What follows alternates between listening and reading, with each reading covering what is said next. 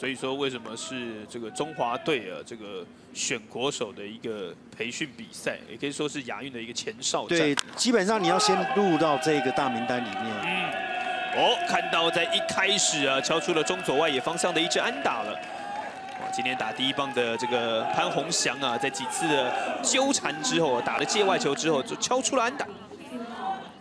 我球的位置看起来是中间稍微偏外一点，而且有一点高。我们注意看一下，所以打了几的技巧是掌握的非常好。因为稍微往外偏了，你这个球顺势的打到中外也跟左外也是对打者最有利的，打得非常有技巧。